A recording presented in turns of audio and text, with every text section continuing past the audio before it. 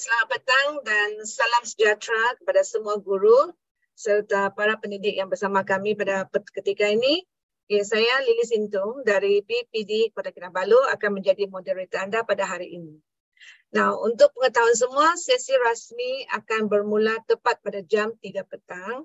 So, untuk mengisi ruang menunggu ini dengan lebih bermakna lagi, kita akan ada sesi perkongsian pendek daripada seorang individu yang amat dikenali dalam dunia pendidikan di mana ramai pemimpin pendidikan di negara kita ini adalah hasil didikan beliau.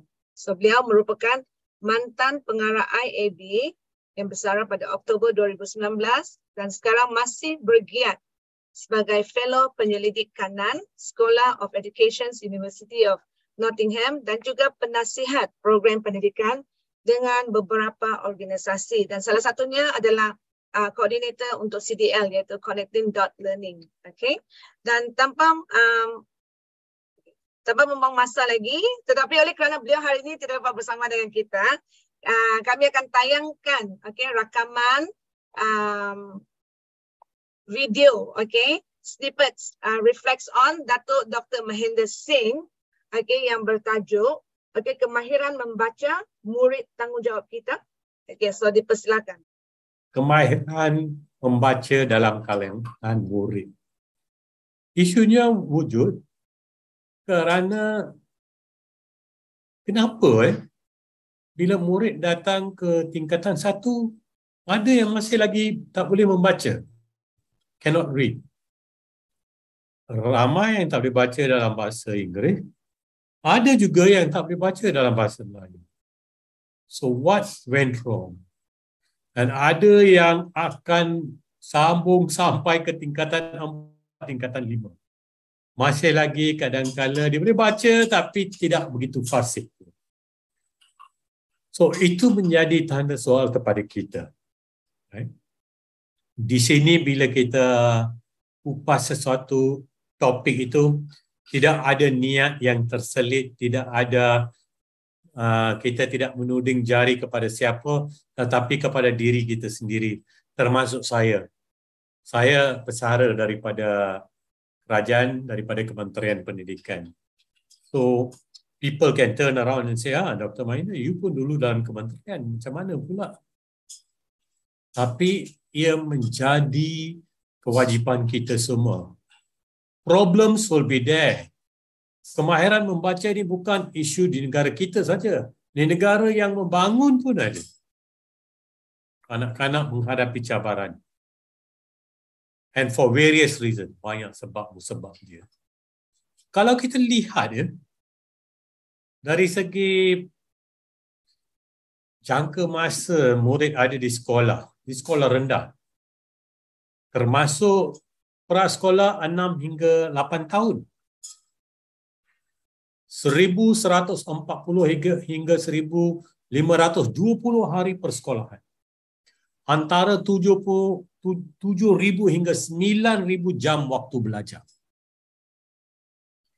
Dan di sekolah menengah pula, 5 tahun, kita tak masukkan tingkatan 6, 950 hari persekolahan berdasarkan 190 hari setahun, 6,500 jam waktu belajar walau, walau bagaimanapun, kita dapati masih ada murid lepasan sekolah rendah dan kadang-kala mendengar yang tidak boleh membaca atau baca dengan fasih. Kalau kita tidak tahu sebabnya mengapa murid tidak boleh membaca, kita perlu kenal pasti root cause-nya. It is our moral obligation. Dan root cause itu tidak semestinya dibuat oleh pihak sistem leaders PPD, JPN atau kementerian. Di peringkat sekolah sendiri. Perlu ada usaha untuk kita buat kajian retrospektif. Looking back. Kalau perkara itu disedari masa murid naik ke tingkatan satu maka kita duduklah bersama dengan sekolah rendah kalau tiga sekolah feeder pada sekolah kita maka kita bincang bersama sekolah rendah, ketiga-tiga sekolah rendah itu dan kita cuba kenal pasti apa sebenarnya cabaran. Dan cabarannya sememangnya tanpa kajian yang yang sistematik, kajian yang berlunaskan prosedur penyelidikan yang tidak ada kecacatan dari segi prosedur atau tata cara kita menjalankan kajian, maka dapatan-dapatan kajian itu yang akan membuat kita buat uh, cadangan dan juga rumusan-rumusan yang lebih mantap, more informed decisions. Mengapa? Cabaran yang ada di Tawau mungkin berbeza daripada yang ada di Arau. Berbeza pula tentang murid yang ada di bandar seperti Kuala Lumpur. Mungkin root cause dia berbeza. Cabarannya berbeza. But we need to know.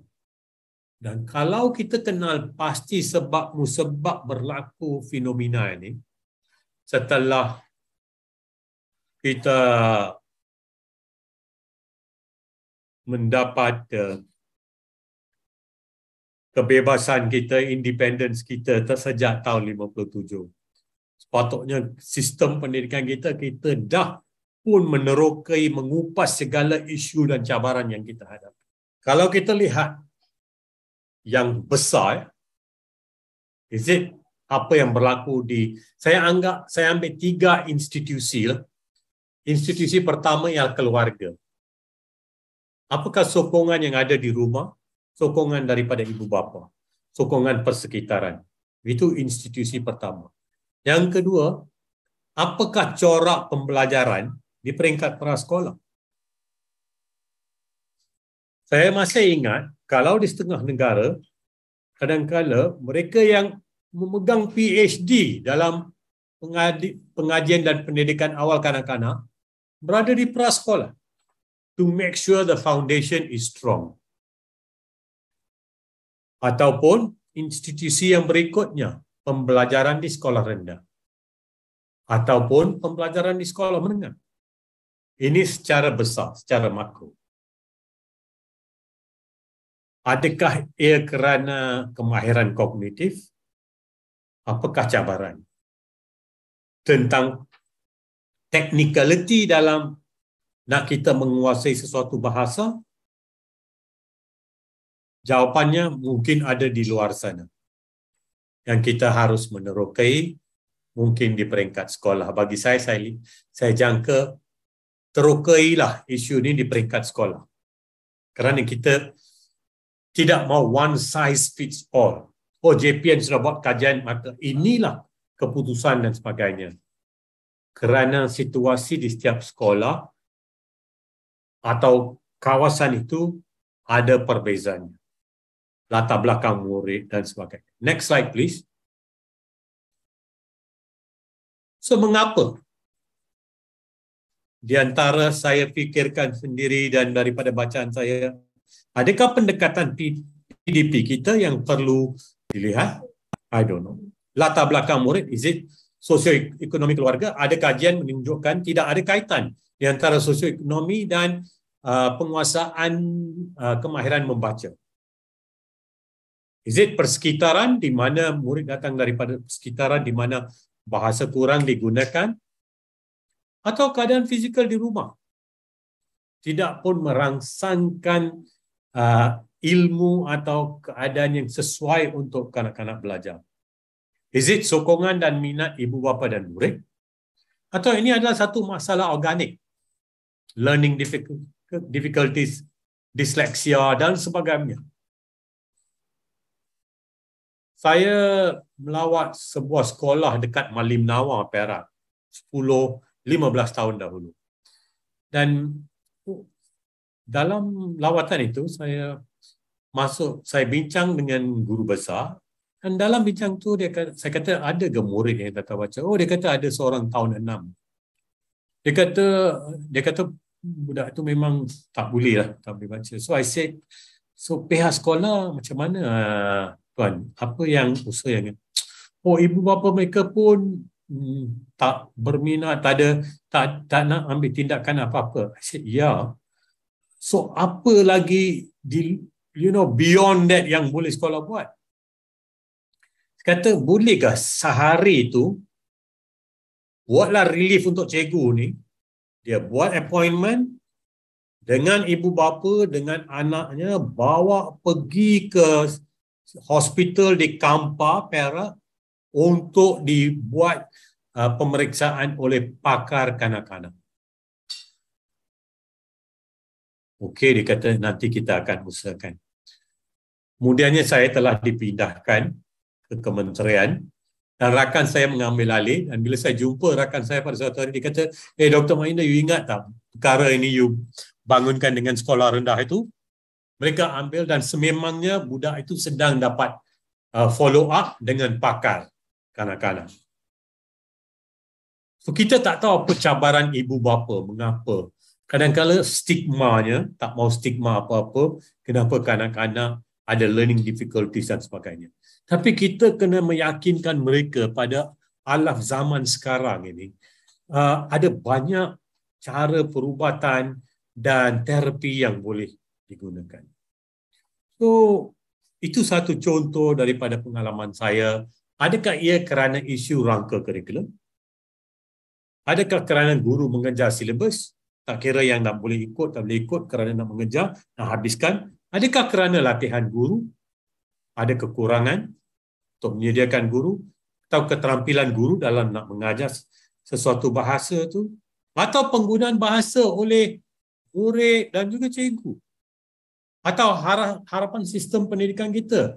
Kita mengejar tahap penguasaan. Kadang-kadang kita hilang hala tuju kita.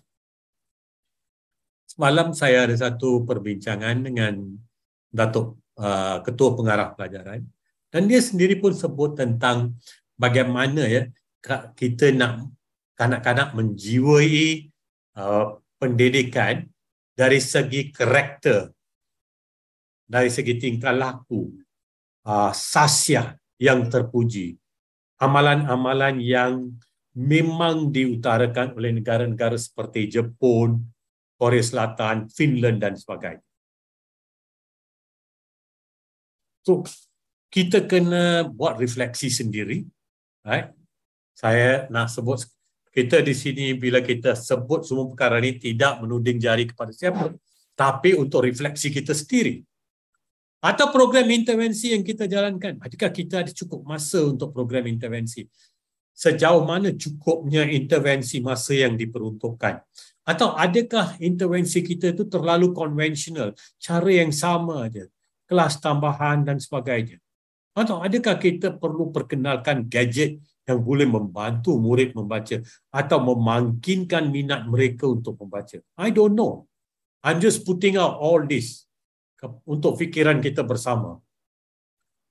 Atau collegiality, kesilaturahim di antara menengah dan rendah. Bila saya bersama dengan seorang pengetua, saya kata, Puan, you have to sit down dengan guru besar sekolah rendah. Fikirkan, why is this happening bila mereka datang ke menengah? Duduk bersama, bukan nak cari salah. If kalau zaman 2022 kita tak boleh duduk sama bersama, saya tak tahu bila lagi kita nak duduk bersama to really nak mengupas isu dan cabaran yang kita hadapi. It is to solve the problems, not untuk ego dan sebagainya. Untuk nak menyelesaikan masalah, we have to sit at the table dan lihat apa apa sebenarnya root cause kita. Dan apa persepsi umum tentang isu bahasa? Adakah bahasa itu ada yang anggap tidak begitu penting? Lebih penting ialah matematik dan sebagainya. Atau is it because of bilangan murid dalam kelas? Dan banyak yang lain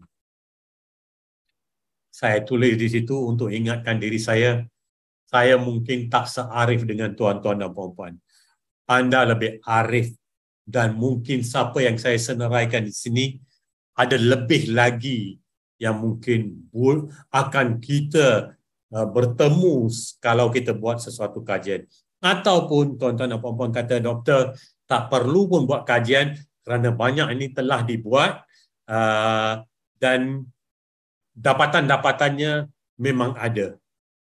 Kalau kita lihat dapatan itu, sudah pastinya kita mungkin boleh merangka langkah tindakan susulan. Tapi yang penting ialah jangan lupa pelajar ada bersama kita untuk lebih daripada 11 tahun. Kenapalah selepas 6 tahun dia datang ke tingkatan satu, ada kanak-kanak yang tak boleh membaca. Kalau masalahnya masalah organik, learning difficulty, dyslexia dan sebagainya, kita faham mungkin pendekatannya berbeza. Tapi apakah cabaran-cabaran lain yang kita hadapi? Jangan harap orang lain untuk menyelesaikan masalah masalah ini, tapi kita sendiri sebagai pendidik, termasuk saya. We have to find that uh, answers to this issue. Dan ini bukan isu baru, tapi isu ini memang wujud dari dahulu kala. Next slide, please. So, tuan-tuan dan puan-puan, saya selalu akhiri dengan kata hikmah yang saya selalu bacakan buku adalah beban latihan untuk minda, books ada training weights of the mind. Kita mempunyai peluang untuk dapat ilmu daripada pelbagai sumber termasuk daripada internet, daripada makalah, majalah dan juga sembang profesional intellectual discourse dengan rakan-rakan. Setiap satu itu boleh membawa kesan. Dan oleh kerana kita sebut tentang bahasa hari ini, saya nak baca juga ungkapan ini. If a child can't learn the way we teach, maybe we should teach the way they learn. Satu cabaran yang besar, saya tahu kerana bukan mudah untuk kita nak memenuhi kehendak cara belajar setiap kanak-kanak. Itu saja daripada saya. Terima kasih. Okay, semoga hadirin semua mendapat inspirasi daripada um, sesi snippet reflex on tadi. So kita dapat rumuskan di sini bahawa kemahiran membaca ini merupakan kunci okay, penting dalam kejayaan dan oleh itu tanggungjawab untuk memastikan murid-murid ini untuk menguasai dengan baik adalah tanggungjawab kita bersama. So marilah kita berganding bahu serta uh, mengelakkan sikap seperti now dalam berluka melepaskan pucuk. Okay, masing-masing uh, dalam memastikan guru uh, murid dapat menguasai kemahiran membaca dengan sebaiknya. So semua guru uh, harap dapat manfaat daripada snippets ni. So dengan tanpa membuang masa lagi, okay, kita teruskan uh, sesi kita pada petang ini, okay, dengan uh, ucapan, okay, selamat sejahtera kepada, okay, selamat sejahtera kepada yang berbahagia Datuk Dr. Amin Senin, pengasas CDL, okay, penceramah jemputan mingguan, um, sorry, uh, Puan Elsie Gilo penilai CDL. Uh, Cikgu, uh, we don't know whether she's here, but um, you know because she's still on holiday. Okay, Cikgu minta tabang uh, Sabah chapter, okay, and then para pengetua guru besar, para pendidik dan guru-guru di seluruh Sabah khasnya dan yang sudi bersama kami pada petang ini. Okay, sekali lagi saya Lili Sintum daripada PPDKK akan menjadi moderator anda pada petang ini. So untuk kali ini kita bertemu sekali lagi dalam sesi CDL siri yang ke-13. Okay, Cikgu minta tabang yang juga bermakna Cikgu bantu Cikgu. Okay, dan Minta tabang ni adalah bahasa, okay? Perkataan minta tabang ni adalah bahasa dari suku kaum etnik Sabah. Okay? Ini adalah satu sesi perkongsian ilmu yang dijalankan secara bersiri menerusi siri hands-on online session. So, okay, tuan-tuan dan puan-puan para hadirin sekalian, okay, untuk uh, seterusnya saya akan bacakan objektif CDL hands-on ini. Wani. Thank you. So, objektif antara objektif CDL hands-on ini ialah nombor satu, berkongsi ilmu dan ber, uh, dan kemahiran. Yang kedua, membangunkan kompetensi guru. Dan yang ketiga, meningkatkan keupayaan. Dan, dan akhir sekali adalah untuk membina jalinan dan jaringan berterusan. So, untuk peserta, uh, peserta yang ingin me- menjadi ahli CDL perlulah mendaftar sebagai pelanggan. Okay, pendaftaran adalah percuma dan uh, para peserta atau para guru-guru semua bolehlah layari www.connectingdots.my Okay, dan peserta boleh mengikuti program melalui pautan Zoom yang tertera dalam poster. Okay, sesi perkongsian ini akan berlangsung pada setiap hari Khamis selama 1 jam 30 minit iaitu dari jam 3 hingga 4.30 petang. Okay, poster dan juga surat siaran akan dikeluarkan sebelum itu perkongsian adalah secara hands-on. Jadi cikgu-cikgu akan berpulang untuk bersama-sama dengan penceramah, dengan facilitator ataupun trainer uh, menjalankan aktiviti hands-on ya, semasa bengkel ini. Okey, dan e-sijil disediakan menerusi pautan yang akan diberikan pada akhir sesi. So, cikgu-cikgu semua mesti ikut uh, bengkel ini ataupun uh, uh, aktiviti sehingga pada akhir sesi untuk mendapatkan okay, e-sijil. Okey, dan seterusnya, um, saya mengambil kesempatan untuk memperkenalkan okay, guru ataupun nama pembentang kita pada hari ini iaitu uh, yang pertama Cikgu Nadia Richard dari SMK Bandaraya Kota Kinabalu yang akan membuat okey dan juga seorang lagi uh, Cikgu Hanafia bin Edi Chong Johari eh, dari SMK Ulu Sapi Telupit Sabah. Okey. So mereka ni adalah uh, guru-guru juara uh, uh, apa ni digital ya. Saya akan bacakan satu-satu uh, profil mereka dulu. Okey, untuk Puan uh, Cikgu Nadia, okey, beliau adalah uh, pemagang ijazah sarjana muda pendidikan uh, pendidikan sains dengan kepujian dari Universiti Malaysia Sabah. Okey, dan memenangi pelbagai jenis anugerah eh, uh, dari pelbagai uh, pertandingan yang di, diikuti. Salah satu daripada ini adalah top 3 top 30 cikgu juara digital Best of the Best Innovation Award, International Innovations, RSWOT Malaysia, AIM, IAM 2021. Um, juga anugerah emas seminar penyelidikan dan pendidikan dan pertandingan inovasi pendidikan 2021. Okay. So this is among others lah beberapa award yang dimenangi dan yang kalau nak dibacakan semua panjang sangat. Okay. So seterusnya uh, untuk pembentang kita yang kedua iaitu Puan Encik Hanafia, Cikgu Hanafia bin Edi. Um, pengalaman mengajar selama enam tahun dalam bidang sains dan fizik. Okay, juga top 30 Cikgu Juara Digital 2021.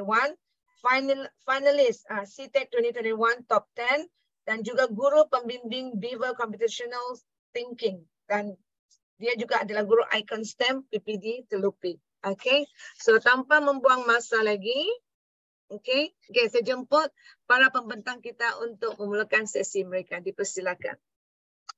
Salam sejahtera. Okay, boleh dengar? Terima kasih. Dengar, dengar.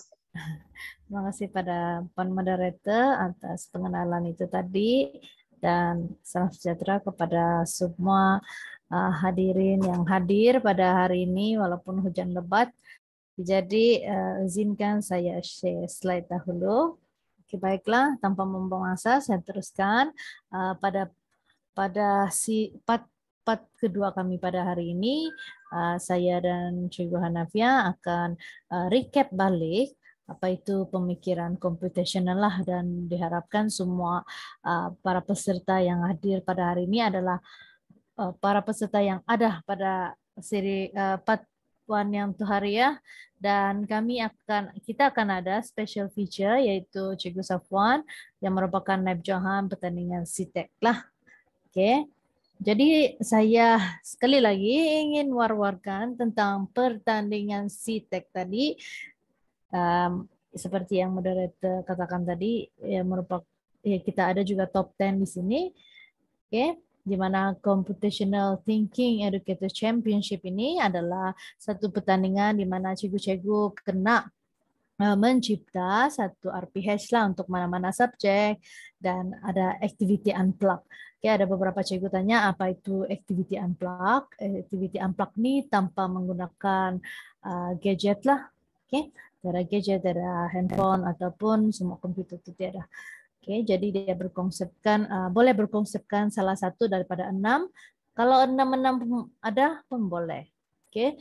Dan selain daripada RPS itu kena ada video berdurasi 30 menit lah yang di mana uh, menunjukkan cikgu ada membuat PDP yang cikgu um, merancang dalam RPH tadi. Oke. Jadi yang menariknya, okay, hadiah utama dia adalah sebuah digital maker hub. Okay, hadiah digital uh, maker hub untuk tempat yang pertama. Okay, bukan calang-calang hadiah dia ini. Jadi sebuah digital maker hub uh, ada macam kalau cikgu juara digital dia pun ada ini yang pemenang nih dia macam 15 ribu tuh.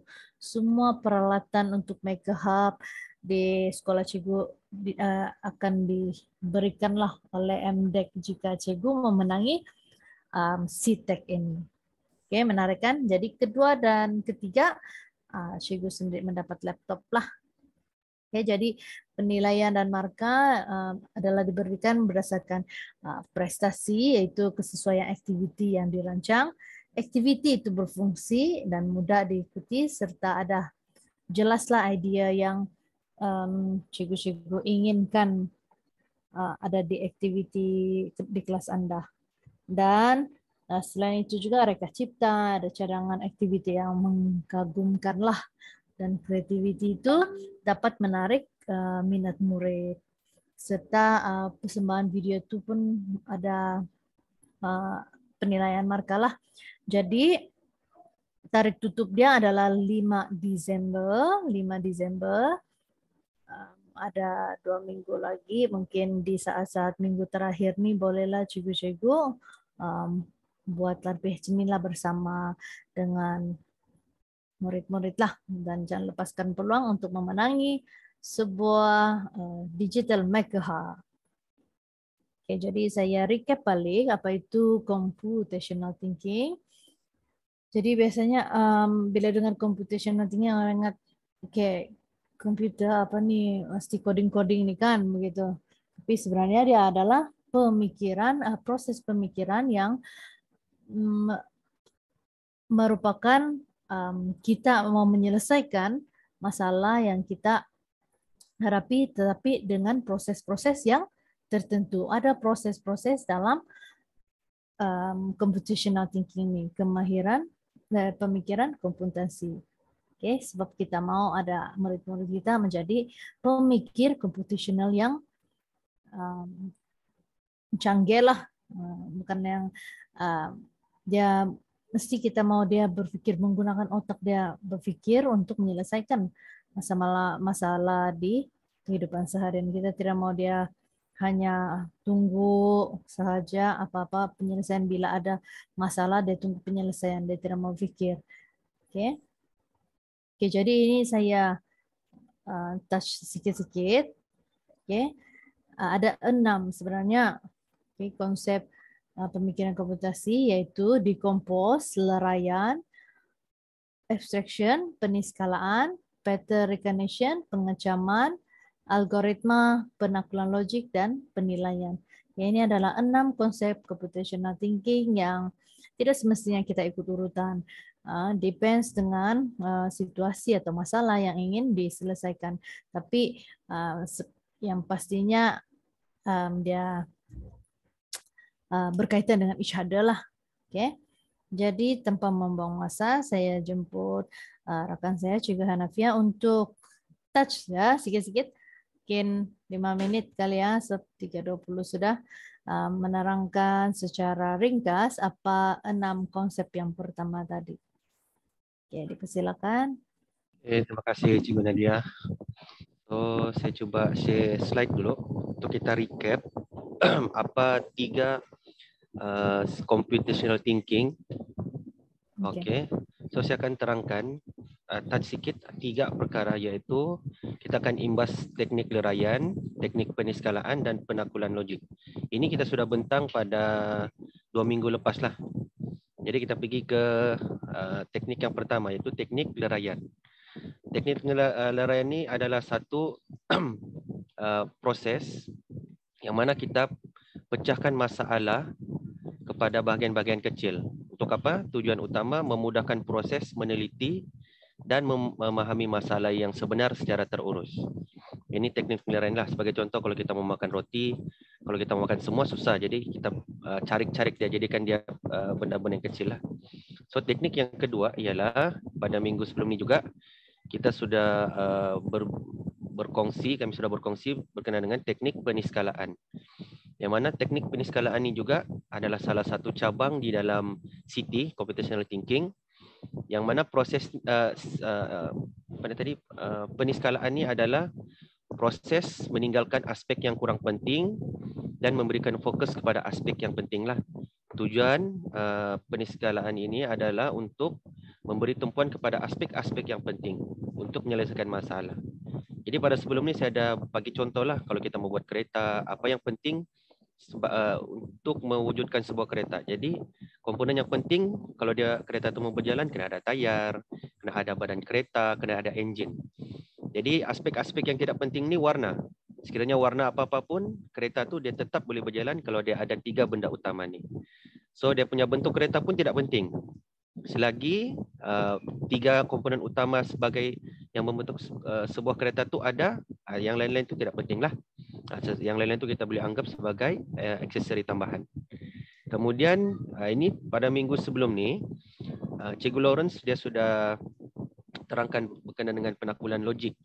Yang mana penakulan logik ini adalah proses memastikan penyelesaian yang dipilih sesuai atau terbaik menggunakan pemikiran logik bagi mengenal pasti maklumat yang penting dan mengikut turutan yang logik.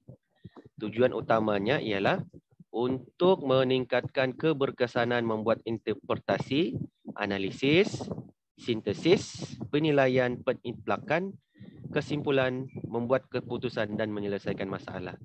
Ini adalah uh, penakulan logik lah. Sebagai contoh, saya boleh bagi contoh. Sebelum kita kasih hidup uh, laptop ataupun komputer, perkara pertama yang kita harus buat adalah kita kena hidupkan dulu. Jadi sebelum tu, apa lagi kita kena sambung? Uh, kita kena sambungkan power cord. Uh, itu semua adalah kita uh, penakulan logik lah. Uh, ini sudah diterangkan. Jadi proses tiga nanti ni, Siti ni kita akan gunakan semasa kita di dalam record room nanti. Nanti kita akan berbincang dengan lebih mendalam lah. Saya rasa itu saya untuk recap sikit berkenaan tiga tajuk. Saya serahkan kembali kepada Cikgu Nadia. Silakan Cikgu Nadia. Okay, thank you. Okay, jadi uh, tadi Cikgu Navia sudah um, terangkan tentang leraian peniskalan secara touch lah. Jadi saya akan terangkan sedikit tentang um, konsep yang keempat, kelima, dan keenam yaitu algoritma.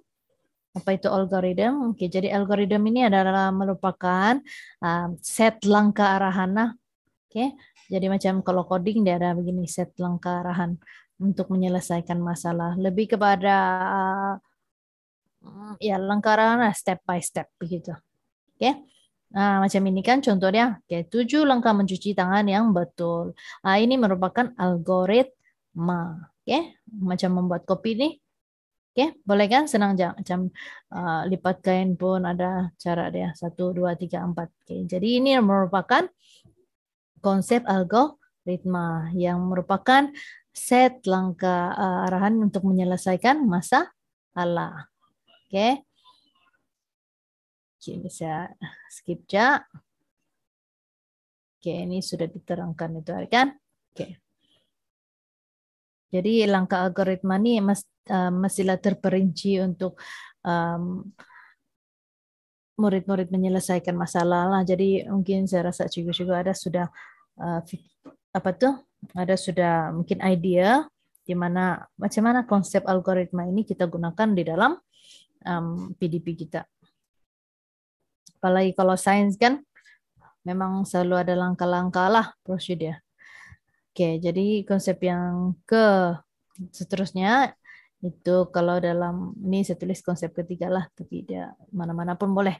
Oke, pengecaman corak yaitu uh, ability untuk kita melihat persamaan dan perbezaan uh, corak itulah kita nampak uh, corak permainan ke apakah semua.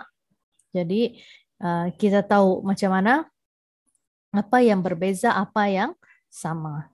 Oke. Okay. Ini biasalah. Uh, biasa sudah kita buat kalau macam sains kan.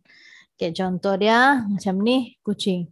Kalau kita cakap, okey murid-murid kita lukis kucing. Mesti dia pun okay, lukis kucing yang uh, macam mana. Begitu kan. Sebab kucing ni ada ada punya persamaan, ada juga perbezaan dia. Okey. Macam PDP ini saya um, teruskan saja. Sebab ini sudah kami terangkan pada inilah 1. Okay. Dan seterusnya konsep penilaian.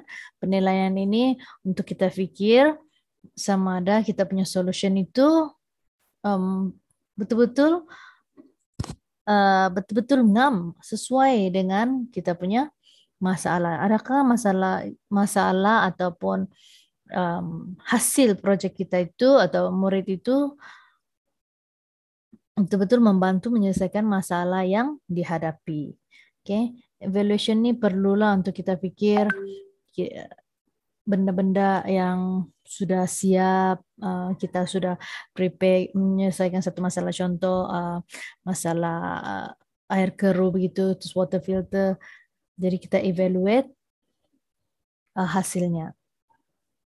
Okay, ini kebaikan evaluate lah. Okay, jadi um, saya kongsikan satu RPH selepas ni semua guru-guru uh, kita sama-sama pandangkan CDL ini adalah activity hands on jadi kena buat hands on lah. Okay sebab kita tidak mau duduk dengar sejalan kan. Jadi kita kena buat RPH okay jadi ini saya uh, kongsikan RPH um, untuk subjek RBT tahun lalu yang merupakan pemenang, okay, pemenang tahun lalu yaitu Sekubes. Tapi untuk pertandingan kali ini bukan kumpulan ya, individu. Okey, di sini dia buatlah RPH dia yang simple saja. Untuk pelajaran tingkatan masa um, standard kandungan, standard pembelajaran, lepas tu activity. Activity ini di tepi dia tulis uh, apa computational thinking yang digunakan. Contoh dia, okey, Hari ini cikgu mau ajar mereka bentuk fashion. Di, akhir pengajaran, pembelajaran, murid-murid menyerahkan jenis reka bentuk fashion. Okay, jadi mula-mula cikgu tu dia bagilah tiga keping. Topeng, topeng, topeng. Okay, jadi bila dia bagi topeng-topeng ini, ini adalah konsep pengecaman. Okay. Ini aktiviti adalah konsep pengecaman dalam computational thinking. Okay, seterusnya ada tulislah di sini. Okey, langkah seterusnya uh, cikgu tu meminta murid mengenal pasti dan menyenaraikan. Okey, jadi ini adalah aktiviti logical reasoning. Kasih senarai kenapa dia sesuai, kenapa dia tidak sesuai begitu. Lepas tu dia lerai dia uh, buat aktiviti konsep larayan. Ya, dia laraikan mana yang guna untuk uh, mulut saja atau seluruhnya gitu. Oke, okay. lepas itu explore dan elaborate di sana. Jadi um, kita tengok dia sangat sangat ringkas saja lah RPH dia dan boleh dibuatkan. Oke, okay, jadi sekarang kita teruskan dengan activity hands on. Oke, okay, memandangkan ada 60 orang mau buat ikut subjek lah. Kan breakout room ikut subjek. Oke, okay, jadi ada lima breakout room. Oke. Okay. Itu ESK, SK, okay. Science, Matematik, dan RBT. Ada lima lah. Nanti cikgu-cikgu masuk breakout room ikut mata pelajaran masing-masingnya. Jadi minta kerjasama semua lah untuk um, berbincang secara aktif di dalam breakout room itu dan kita dalam breakout room itu suara kurang jelas kan? Oke, dalam breakout room itu kena lantik satu ketua, oke, satu ketua, mungkin satu penjaga masa, satu pencatat. Oke, di mana ketua ini dia akan tanya-tanya lah kita buat um, SP apa, objektif dia apa, tingkatan berapa atau uh, darjah berapa. Oke, ketua yang take over untuk bercakap lah. And then, uh, yang pencatat akan type di Google Doc yang kami sediakan lah di link sana. Selepas itu nanti selepas uh, kita akan bagi setengah jam, oke? Kita akan bagi setengah jam jam 4. Jadi selepas itu selepas setengah jam nanti kita akan pilihlah kumpulan mana yang akan berkongsi dia punya RPH hasil perbincangan ya. Oke, nanti saya dan juga Hanafia juga akan masuk breakout room masing-masing lah untuk uh, memberikan sedikit apa input lah. Oke, boleh paham kan semua? Okey, jadi semua para peserta boleh masuk breakout room ikut uh, masing-masing lah. Mungkin siapa yang tiada dalam lima-lima itu mungkin boleh masuk mana-mana lah untuk uh, bagi suggestion atau tengok cara perbincangan lah. Mungkin bagi yang guru-guru yang mungkin tidak dapat join, kami akan assign kepada kumpulan-kumpulan lah. Kita tengok uh, kalau kumpulan tu sudah penuh atau tidak. Eh. Kalau cikgu-cikgu boleh uh, ada idea macam contoh kita mau buat satu uh, kita buat satu RPH yang kita boleh yang mengintegrasikan computational thinking. Uh, di dalam ni kita boleh bincang sama-sama. Mungkin kita boleh guna template yang sama tapi untuk mengikuti pertandingan CTEC cikgu rakam masing-masing lah. Tiada masalah juga tu. So mungkin di antara kita ni ada yang bernasib baik untuk memenangi sebuah uh, maker hub mahal juga ni kalau mau buat maker hub ni. Dah dekat 15,000 ada jadi kalau dapat adalah di kalangan uh, sekolah daripada negeri Sabah yang berjaya menang ni lah. Jadi kita kena jadi kita buka ruang ni untuk kita bincang macam mana kita buat dulu uh, RPH kemudian dalam besok ataupun dalam minggu hadapan kita sudah boleh rakam sudah.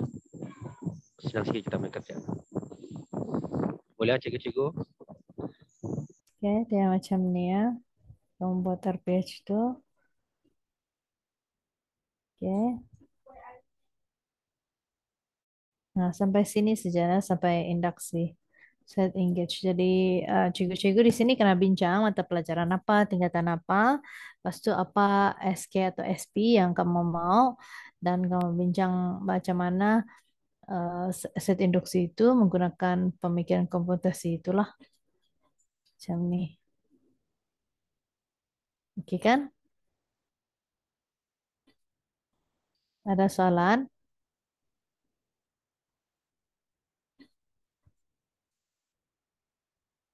Boleh ya, cikgu? Oh, okey, okey. Okay, pelan-pelan. Take your time.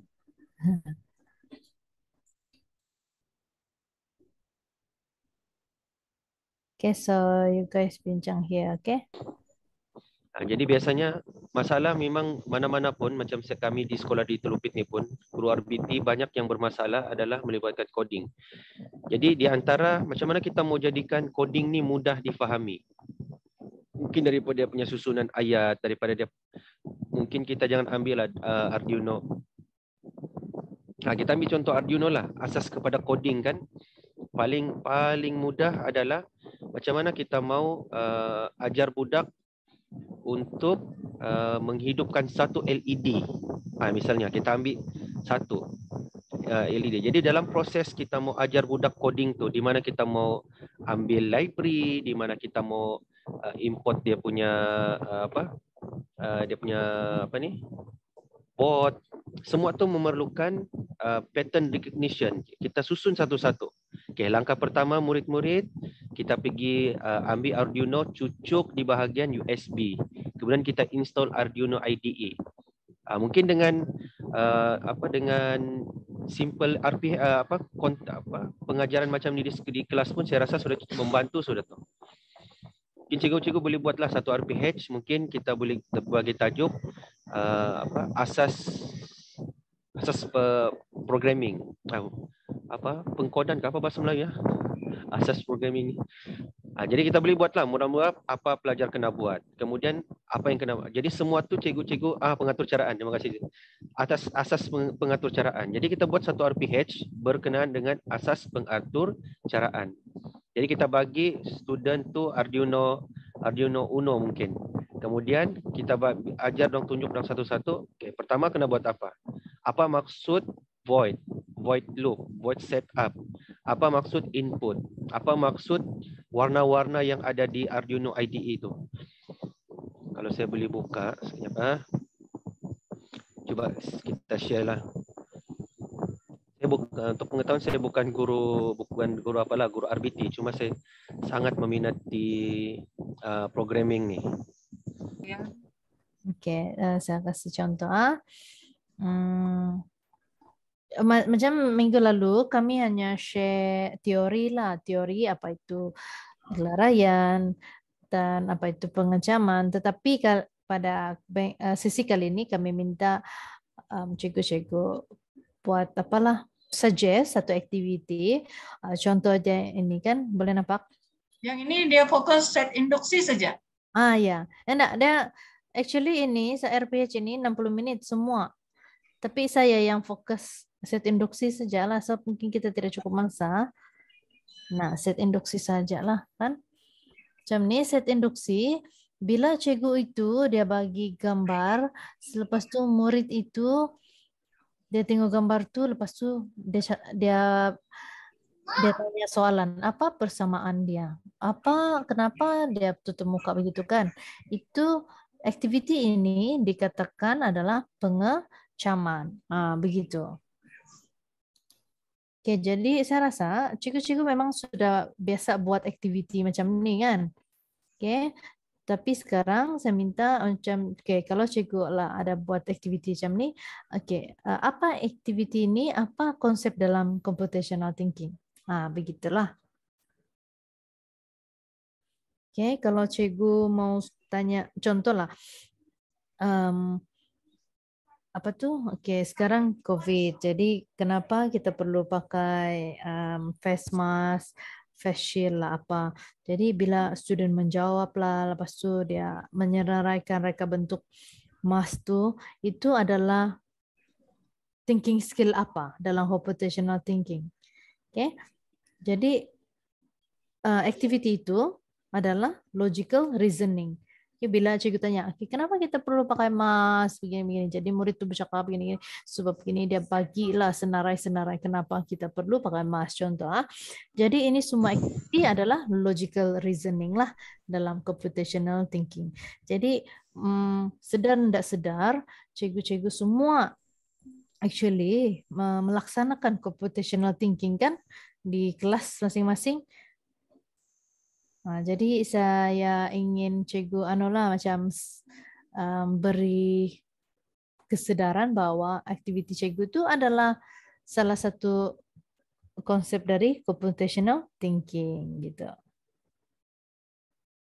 Boleh? Jadi ini adalah contoh. Jadi sekarang saya minta cikgu bagi contoh dan kaitkan dengan konsep ke computational thinking tadi. Oke, selamat kembali ke main room. Jadi kita seperti yang dijanjikan tadi, kita ada kita tamu jemputan kita yang di bawah khas, okay.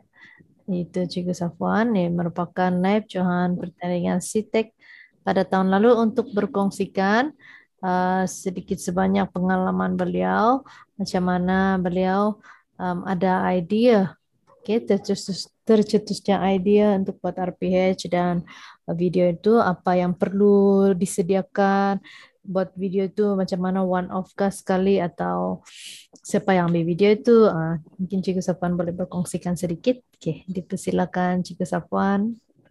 Bismillahirrahmanirrahim. Alhamdulillahirrabbilalamin Wassalatu wassalamu ala ashrafil anbiya wa mursalin wa ala alihi wa sahbihi ajma'in Assalamualaikum warahmatullahi wabarakatuh dan selamat datang kepada semua guru. Uh, terima kasih kepada rakan Cikgu Juara Digital, Cikgu Nadia dan juga Cikgu Hanafiah yang sudi uh, menjemput saya untuk uh, membuat sedikit perkongsian pada petang ini insyaAllah. Jadi sebenarnya saya bukanlah orang yang saya kira layak untuk ber kata-kata tentang pemikiran computational ni. Ada ramai lagi yang lebih layak untuk memperkatakan tentang hal ini. Tapi walau bagaimanapun saya cubalah untuk menyampaikan apa yang telah pun saya lalui pada tahun yang lalu pengalaman saya yang mana saya telah menyertai pertandingan uh, CTEC ni dan secara berkumpulan eh dan akhirnya kumpulan kami ramai empat orang uh, telah muncul sebagai pemenang tempat kedua bagi pertandingan tersebut. Jadi terlebih dahulu saya ingin uh, mengucapkan salam kenalan daripada diri saya. Nama saya Muhammad Safwan bin Rozak merupakan Cemerlang yang uh, berkhidmat di Sekolah Kebangsaan Jika Pusat 2. Jadi saya juga merupakan uh, salah seorang daripada cikgu juara digital, top 30 cikgu juara digital pada tahun 2021 dan baru-baru ini juga telah terpilih sebagai Edufluencer KPM dan banyak uh, membuat perkongsian menerusi uh, media sosial, TikTok, uh, YouTube dan sebagainya. Baik. Uh, dan pada tahun 2021 juga saya telah uh, terpilih sebagai uh, guru influencer untuk didik TV KPM. Alhamdulillah. Baiklah, uh, rakan-rakan guru sekalian. Sebenarnya saya uh, pada petang ni saya rasa amat gembira sekali kerana saya dapat kongsi dengan rakan-rakan guru di negeri Sabah. Uh, saya di Malaysia ni salah satu negeri yang belum lagi saya sampai ialah negeri Sabah. Ha, jadi pada hari ini saya sampai di Sabah walaupun secara maya. Alhamdulillah. Okey, baiklah. Uh, jadi tentang City, okey. City uh, Educator Championship ni pada tahun ni kalau saya tengok iklan ni nampaknya ada perubahan sikit dari segi format pertandingan yang mana sebelum ini dijalankan secara berkumpulan tapi pada tahun ini dijalankan secara individu. Baik. Jadi untuk saya saya saya lebih masa lebih kurang 15 minit saja ni untuk uh, membuat perkongsian jadi saya cuba cubalah uh, patuh pada masa tersebut yang pertama dari segi kita ada dari, segi saya nak pecahkan uh, apa yang saya nak katakan pada petang ni uh, melalui empat perkara. Yang pertama dari segi idea, uh, inspirasi saya, pelaksanaan, yang kemasa dan juga serta cabaran dan juga kekangan yang dihadapi sepanjang uh, menyertai pertandingan ini. Baik. Dari segi ideanya sebenarnya saya secara peribadinya memang kosong dari segi pengetahuan tentang City pada mulanya. Tapi selepas daripada mengikuti bengkel City, ha, bengkel pemikiran kompetisional ni melalui bengkel yang telah pun dianjurkan oleh MDEC menerusi program Cikgu Jual Digital yang mana kalau tak silap saya masa tu PKP kita berlangsung online selama lebih kurang 3-4 hari rasa berasak kepala 3-4 hari untuk menghadap benda tu dan akhirnya bolehlah faham sikit-sikit dan tidak lama kemudian tu saya selepas saya dah cuba faham konsep-konsep city sebenarnya konsep city ni um, secara tak langsung kita telah pun ada tanpa kita sedari dah pun kita terapkan dalam PDP kita. Uh, cuma sebelum ni mungkin kita tak tahu itu adalah mungkin itu adalah uh, abstraction uh, logical reasoning dan sebagainya tapi bila kita uh, dah faham konsep city tu, oh sebenarnya kita dah laksanakan. Cuma istilah tersebut kita tak menggunakannya. Okay, bila saya dah cuba faham, sekarang ni pun masih lagi cuba memahami. Maka selepas itu, saya sendiri yang menyebarkan city melalui perkongsian-perkongsian dengan guru lain. Jadi bila kita berkongsi, insyaAllah kita akan lebih faham. Eh, lagi banyak perkongsian yang kita lakukan, lagi banyaklah ilmu yang insyaAllah kita mungkin akan uh, tambah baik. Okey. Kemudian dari segi laksanaan. Uh, pelaksanaan ni yang paling penting ya, uh, tuan-tuan dan puan-puan. Yang pertama kita rancang RPH kita. Kita rancang RPH kita. Uh, walaupun pada masa tu kami berempat. Sebenarnya saya saya sebenarnya bila saya sendiri sampaikan uh, city tu kepada cikgu-cikgu zon timur Kelantan dengan Pahang. Jadi saya rasa kalau saya sendiri yang sampaikan, saya sendiri tak masuk pertandingan. Saya rasa macam rugilah. Jadi saya buat dulu RPH, saya bina RPH yang mana kita dah biasa dengan RPH kita yang biasa cuma kita tambah baik dari segi uh, elemen-elemen city. Okay. Kemudian barulah saya cari ahli kumpulan. Jadi saya cari ahli kumpulan, uh, saya tanya empat orang. Uh, tiga orang tu, dua cikgu daripada Tengganu, satu cikgu daripada Kelantan. Jadi saya kata nak tak masuk kumpulan saya. RPH semua dah ada. Um, InsyaAllah video pun nanti totally saya akan buat. Saya kata. Okay. Jadi saya minta cadangan pendapat dan saya tunjuk RPH uh, saya. Okay dia orang kata on. Sebab saya nak sebab disebabkan pertandingan tersebut secara berkumpulan maka terpaksa masukkan tiga orang lagi nama ni. Okay, jadi on. Okay, proceed. Dia orang pun saya seorang je, dua orang cikgu sains, seorang cikgu matematik, seorang lagi cikgu bahasa Melayu. Uh, jadi uh, RPH tu RPH lain. Jadi orang proceed je lah. Uh, cuma adalah sedikit-sedikit uh, cadangan dan penambahbaikan tu untuk RPH tersebut. Maka ia macam seolah-olah PLC PLC jarak jauh lah dalam kita membina macam kita buat lesson study. Okey. Akhirnya saya rakam video. Ha, rakam video ni saya nak cerita sebenarnya proses merakam video ni totally 100% memang saya sendiri yang, yang rakam. Untuk video kelas saya tu dari segi untuk tempoh PDC, PDPC tu dia nak selama lebih kurang 30 minit. Saya menggunakan telefon bimbit telefon pintar sahaja dan juga tripod. Itu saja. Ah, jadi tidak ada cameraman yang memang saya minta bantuan cikgu lain di sekolah ke tak. Saya hanya menggunakan tripod. Kemudian dia memang seolah-olah memanglah PDPC tu kita berlaku seperti seperti biasa cuma pada hari tersebut dia akan sedikit luar biasa dan kita akan ada ada masa kita pause. Ha, dia sebenarnya kita tak ada skrip pun. Ha, kita mungkin uh, cara je saya guna tripod. Contohnya bila nak bagi salam, Assalamualaikum warahmatullahi wabarakatuh. Ha, masa tu pun saya tak akan bagi murid jawab terus sebab kita nak rekod. dia akan berlaku dua situasi. Ha, okay. Kemudian dia akan jawab. Okay. Okay, jangan jawab lagi saya kata. Kita jawab lepas ni. Okay. Jadi tempoh PDPC tu, uh, kalau ikut normalnya satu jam, proses recording tu akan memakan masa sekurang-kurangnya dua jam. Dua jam. Itu proses rakaman sahaja. Okay, dan saya akan mintalah waktu guru lain untuk saya ambil supaya proses rakaman tersebut akan berjalan seperti mana yang kita nak.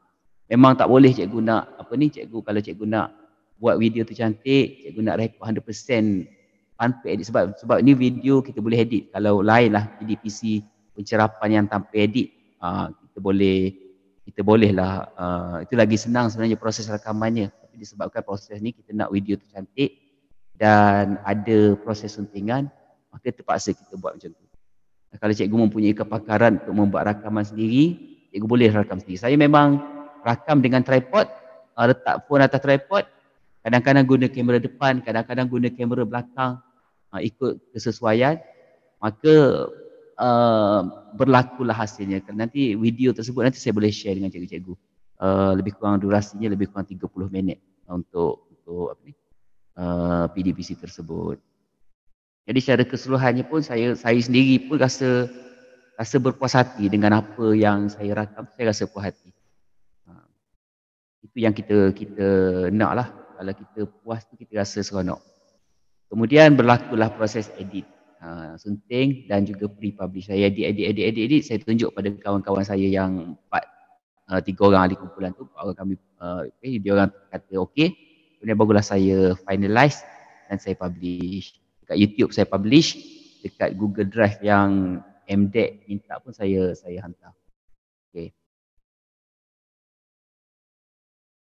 Okay, dari segi jangka masa, dia ada time frame dia lebih kurang empat perkara ni. Yang pertama bina RPH. Bila cikgu ada idea tu ataupun boleh gunakan RPH cikgu yang ada sekarang, modified saja mungkin tak makan masa yang yang panjang. Mungkin boleh cikgu boleh minta uh, PLC dalam panitia cikgu ke untuk untuk menambah baik. Kemudian proses rakaman. Proses rakaman ni sehari. Eh saya ambil masa hari tu dalam 2 jam dan proses suntingan ni suntingan ni yang paling mencabar berbanding rakaman suntingan ni sebab saya guna phone edit pun 100% saya akan guna phone um, dia bergantung pada mood Uh, terus terang saya kata yang untuk pertandingan tahun ni pun insya-Allah saya nak masuk. Rakaman saya dah settle. Ha, dah settle rakaman tapi saya belum edit lagi yang untuk untuk untuk RPH yang apa untuk video yang tahun ni. Ha, record dah record. Okey dan akhirnya sebenarnya cikgu-cikgu bila kita send pada MDEC uh, kita akan dipilih pula disaring dan akhirnya kami dapat top 10. Uh, bila selepas dapat top 10 tu yang tu cabarannya yang agak besar jugalah sebab dia akan berikan kita tak silap saya uh, lima soalan lima soalan lima soalan Siti dan kita akan jawab. Ada soalan yang mungkin saya kira dia tak ada soalan mudah pun. Kebanyakannya arah sederhana dan ke atas. ada satu soalan tu memang saya tak reti langsung nak jawab. Tapi disebabkan kami berkumpulan, uh, kita meeting, kita minta okey kepakaran orang ni, orang ni, orang ni, akhirnya siaplah kita menyelesaikan soalan tersebut. Dan akhirnya bila dapat keputusan, kumpulan kami dapat tempat yang kedua. Jadi soalan tu memang mencabar. Kalau cikgu nak soalan tu saya boleh share lah uh, pada cikgu Nadia ke cikgu Anafiah lepas ni saya boleh share soalan tersebut. Soalan yang tahun lepas. Okey, cabarannya uh, yang pertama masa lah. Okey, masa uh, sebab tempoh saya pun tak ingat ujung uh, pertandingan ni bila tarikh tutup. Saya rasa memang tak tutup lagi lambat ke bulan 12 saja kan. Uh, bulan 12. Masanya lagi panjang. Tapi biasanya untuk pertandingan ni uh, dia ada nikmat last minute. Uh, last minute tu kalau kita last minute kenikmatan last minute tu. Uh, bila last minute tu dia macam wah dia ada deadline dia masa itulah kita rushing nak buat nak hantar kena jadi. Uh, itu yang biasa lah. Okay. Uh, dan cabaran kedua sesi rakaman. Sesi rakaman ni uh, kadang-kadang yang yang kadang-kadang yang melucukannya pada tahun lepas bila saya saya cari mana video ni yang saya rekod. Rupanya masa kita bercakap tu tak rekod, tak tekan tak tekan rekod kan kita. Ah bila tu cabaran antara cabarannya. Terpaksa nasib baiklah slot tu uh, masa bercakap tu bahagian saya, part saya yang bercakap bukan part murid. Jadi saya pergi sekolah uh, dalam keadaan murid tak ada, pakai baju yang sama, uh, rakam. Uh, rakam balik apa yang saya nak kata tu lah.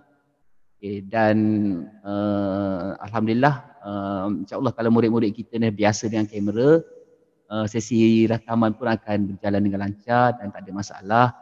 Dan kita tak perlu beri skrip pun pada murid kita. Kita mungkin latih. Saya tak pernah beri skrip pun pada murid saya. Apa yang kita nak minta dia kata kita akan uh, bagi tahu pada hari tersebut juga. Uh, so tak ada masalah. Okay. memang murid kita akan nampak pandai lah. Itu sudah semestinya. Dan cabaran yang ketiga, soalan yang saya nyatakan tadi, soalan yang uh, diberikan oleh pihak MDEC apabila kita telah berjaya melepasi top 10, uh, soalan tersebut agak mencabar juga. Okey. Jadi saya rasa ha ni contoh ni contoh RPH saya. Simple je cikgu eh. RPH sebenarnya tak ada format yang yang orang kata yang spesifik untuk kita buat RPH yang kita nak masuk tandingan tu bebas. So ni RPH yang saya hantar. Tajuk yang saya pilih ialah uh, Haba Sains tahun 5.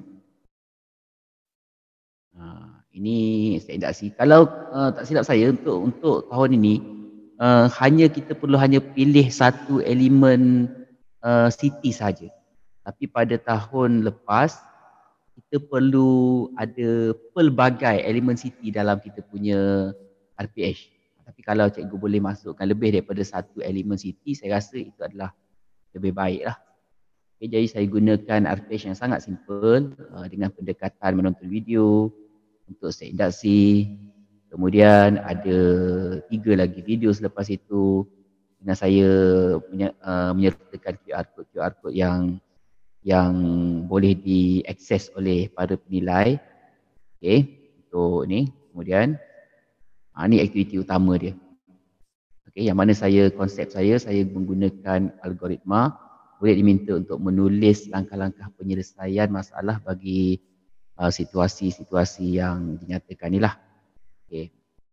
Jadi bila mereka buat secara kumpulan, ada kolaboratif kat situ, ada banyaklah unsur-unsur yang uh, PAK 21 pun berlangsung, ada pembentangan dan sebagainya. dan akhirnya kita buat kesimpulan.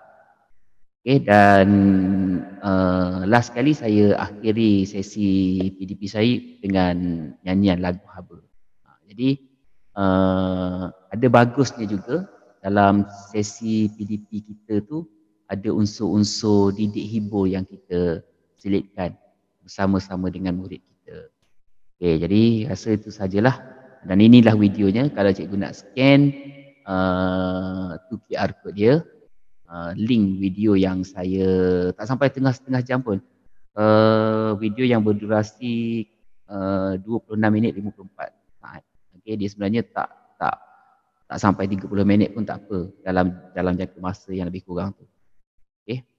Dan akhirnya kalau cikgu nak follow saya punya sosial media, ha, ini semualah. Facebook, YouTube, Instagram, Twitter pun ada, uh, TikTok dan saya juga ada menulis di cikgusafan.blogspot.com. Jadi rasanya lebih dari 15 minit ni mungkin lebih sikit. Minta maaf saya mengambil masa cikgu-cikgu. Uh, okay. Uh, dan saya uh, ucapkan terima kasih sekali lagi kepada rakan CJD Cikgu Anafiah dan juga Cikgu Nadia sudi menyebut saya pada petang ini untuk membuat sedikit perkongsian dan apa yang kelemahan saya itu datang daripada diri saya sendiri. Yang baik itu datang daripada Allah dan saya serahkan kembali kepada uh, moderator pada petang ini. Silakan. Okey, kembali kepada saya dulu ah. Okey, terima kasih kepada Cikgu Safwan atas uh, perkongsian itu tadi. Saya sengaja ah uh, panggil Cikgu Safwan sebagai membantu membantu kami dalam dan berkongsikan okay, pengalaman beliau dalam uh, join CTEC. Okey, saya share dulu. So ada yang tanya tadi, uh, Cikgu uh, macam mana mau hantar RPH. Okey. Okey, di sini ada dua link yang saya akan share, yaitu boleh nampak link kan? Okey, satu link ini adalah CTEC peringkat akhir pada tahun yang lepas. Okey, jadi top 10 ini cikgu-cikgu boleh uh, cek lah, um, tengok orang punya RPH dan orang punya uh, video ah top 10 tahun lalu. Okey, saya share ah. Okey, dan next saya share adalah tada. Okey, ini adalah penyertaan CTEC pada tahun 2022. Setakat sekarang baru lima orang sahaja yang menghantar di, di seluruh negara, okay? Baru lima orang sahaja, okay? Jadi peluang untuk menang ataupun mendapat um, ni mungkin tinggi lah kan. Okay, jadi macam Cikgu Safan pun dia bilang dia sudah pasang strategi last minute dihantar ni. jadi mungkin ada kita ada dua minggu lagi sebelum tarik tutup. Jadi cikgu-cikgu boleh guna buka folder ni. Saya pun akan share juga uh, poster tadi. Poster tadi itu ada link ini. Jadi cara penyertaan dia, uh, bila kamu buka link penyertaan, kamu ada akan dapat ini. Okay? Jadi untuk uh, hantar, kamu kena create folder. Contoh create folder. Okay, tulis nama lah. Okay. Tulis nama. Lepas tu, okay, ada sudah nama tu. Lepas tu di sini boleh masukkan RPH dan video cikgu. Okay, itu sahaja lah. Okay, jadi setakat ni kita boleh nampak baru hanya lima penyertaan CTEC tahun 2022. Lima orang saja, baru baru lima orang di uh, seluruh negara lah. Jadi um, saya dan rakan-rakan CJD berharap kami dapat membantu atau membawa atau mempengaruh rakan-rakan lain untuk uh, mengikuti pertandingan ini. Bukan hanya kita mau dapat yang menang saja lah, tapi cuma kita mau um, saya rasa cikgu-cikgu sudah buat uh, RPH activity-activity itu dengan menggunakan konsep-konsep computational thinking. Jadi why not show kamu punya cara dan mungkin boleh dikongsikan. Macam cikgu Sapan cakap tadi kita kongsikan dan banyak orang dapat manfaat dia lah. Kita tidak judge macam oh kenapa dia buat gini? Tidak kita berkongsi idea. Oh macam ni pula. Oke okay, bagus ya macam ni ha, bagus saya pun tiru juga begitu kan oke lain orang lain idea dia dan lain juga murid dia kan macam-macam cara untuk kita um, buat PDP di kelas Oke, jadi itu saja dari saya. Cikgu harapnya ada mau tambah? Uh, sikitlah saya mau tambah. Saya harap, eh. Saya harap ramailah penyertaan daripada Sabah sebab kita kita tahu dia punya dia punya hadiah tu sangat sangat menarik lah. Kita kalau dapat uh, sebuah apa tu make hub kah? Betul. Make hub. Jadi uh, itu sajalah. Saya harap ramai. Kalau ada masalah jangan malu-malu untuk kontak saya dengan ataupun Cikgu Nadia. Itu sajalah Cikgu Nadia. Oke, samalah saya pun berharap uh, kami dapat membantu cikgu-cikgu lain dalam membina RPH berasaskan pemikiran komputasi dan kalau ada apa-apa uh, kontak saja ada di grup Mitra Tabang, grup uh, banyak grup nih. Oke, itu saja dari kami. Um, Lili, mic, mic dah on. Thank you. Ya, itu saja dari kami. Uh, salah dan silap harap dimaafkan. Saya kembalikan kepada moderator. Okay, thank you Cikgu Nadia. Okay, kita ucapkan ribuan terima kasih pada Cikgu Nadia dengan Cikgu Hanafia dengan perkongsian yang sangat um, bermakna ni. So dan, dan juga kita punya tetamu undangan yang surprise eh. Cikgu Safwan. Okay, thank you for the perkongsian. So diharapkan cikgu-cikgu semua dengan perkongsian yang telah diberikan oleh ketiga-tiga cikgu ni, cikgu-cikgu semua lagi teruja untuk me- menyertai pertandingan CTEC. Okay. So dan juga uh, jangan lupa cikgu mengisi apa tu uh, maklum balas dan juga kehadiran link kehadiran yang telah dikongsikan dalam uh, chat. Okay, so sebelum kita pergi boleh um, buka kamera semua untuk kita bergambar. Okay, saya ambil gambar ya. Okay, ready. Satu, dua, tiga. Sekali lagi. Satu, dua, tiga. Okay, next page. Okay. Satu, dua, tiga. Okay. Okay. Okay. Thank you cikgu-cikgu semua. So jangan, jangan lupa minggu depan masa yang sama. Okay, siri ke-14. Okay, bye. Thank you. Bye-bye. Thank you semua. Terima kasih. Terima kasih.